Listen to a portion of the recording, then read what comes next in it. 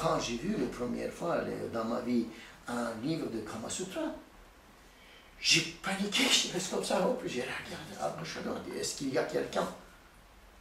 Mais voilà, c'est là, à cause du syndrome de, j'ai dit syndrome de animaux, surtout les jeunes euh, euh, chevaux, cheval, euh, la maman, elle n'a pas arrivé d'ouvrir de, de, de, enveloppe de son bébé. Parfois, il est un peu étrange, son, elle est un, un peu étrange son.